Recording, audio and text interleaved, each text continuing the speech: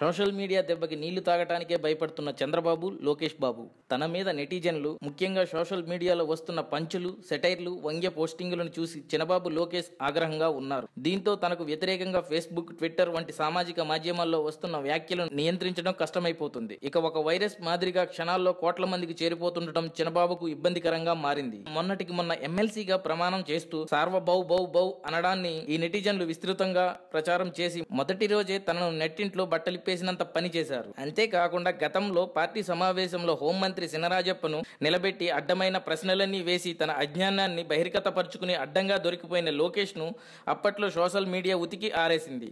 అంటే లోకేష్ చంద్రబాబు ఏ పని చేస్తున్నా ప్రధాన మీడియా పట్టించుకోవటం లేదు గాని సోషల్ మీడియాలో మాత్రం క్షణాల్లో కోట్ల మందికి చేరుకుంటుంది. ఇది కాకుండా రెగ్యులర్ మీడియా అయితే మేనేజ్ చేయొచ్చు.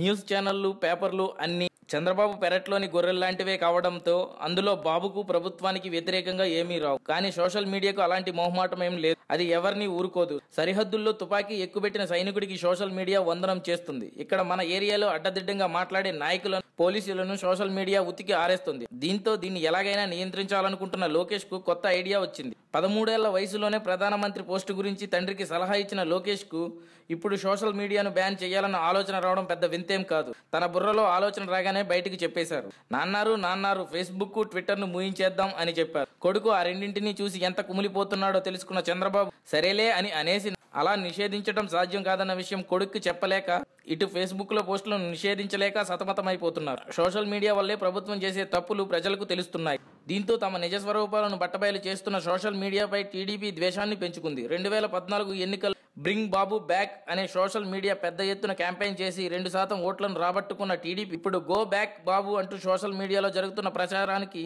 సమాధానం చెప్పలేకపోతుంది. For more videos please subscribe our channel